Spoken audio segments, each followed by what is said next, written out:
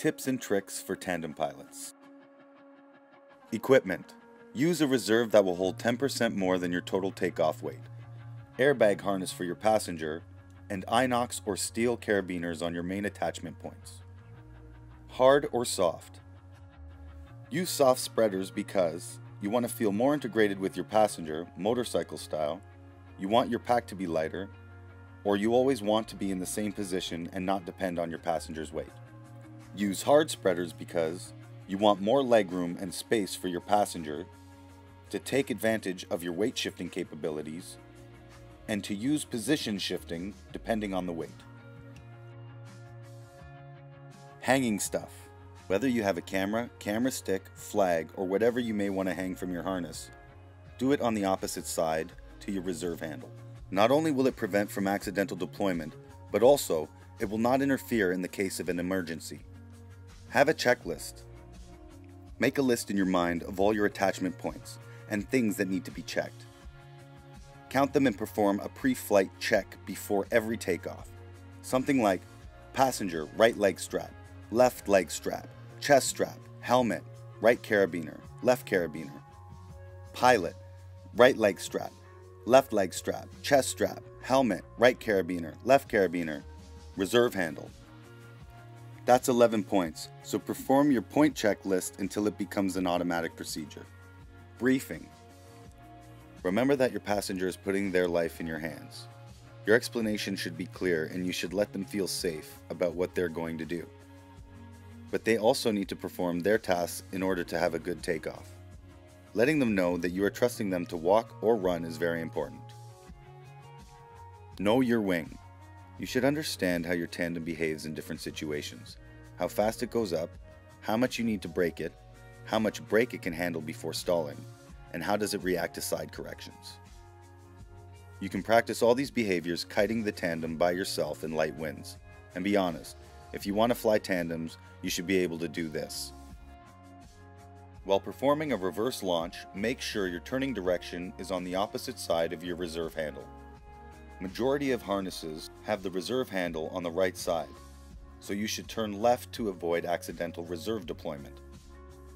In low or no wind. Set your canopy in a C shape, where the A lines are all tense when you are checking them. This way the canopy will be on shape a lot faster during inflation.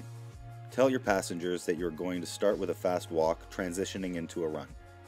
Have a clear point of abort. Remember, that aborting a takeoff is a lot better than this. When on final countdown for takeoff, 3, 2, 1, walk. Wait for your passenger to start walking first. If you push them, they feel like they're going to be thrown down the cliff and are more prone to sit. On the contrary, if they feel tension on the system, they feel more secure. In strong wind, if you open up the trimmers to the faster setup, the wing will have less pull, even if it goes up a little faster, you just need to be more gentle while pulling the A's. Again, this should be practiced in lower winds by yourself. If the wind is really strong, let them know that you might take a couple steps back. The important part is for them to stay on their feet and run when they're informed to. In flight, don't let go of your brakes. Learn to fly with one hand holding both brakes. This way you can do things like help your passenger sit properly or set up your camera without compromising your safety. Also, while holding your brakes, you can have a more stable flight which leads to less motion sickness for the passenger. Make the flight intuitive. The passenger is not ready for the motion they are going to experience. So if you let them know which way you are turning, talking to them and leaning to the side you want them to turn before applying the brake, they will anticipate the movement which leads to less motion sickness. Talk to them constantly. They will feel more relaxed, and at the same time, you are able to notice if they're getting a pleasant experience or if they're getting nauseous or feeling uncomfortable in any way. Landing. Landing should be as tangentially as possible. To do this, you need to gather enough energy for a parallel flight to the ground, finishing with your full flare. Lift their feet. Before final approach, tell your passenger to lift their feet up until you tell them to stand. If you're coming in too fast, it's possible to land sliding. You don't want to end up flipping over your passenger.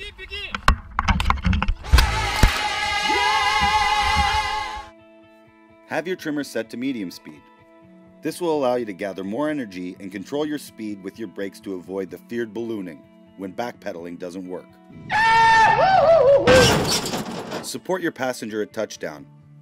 Set up your brakes so you can finish your flare and use your arms for supporting your passenger. This way, they'll feel like they're stepping out of the sky.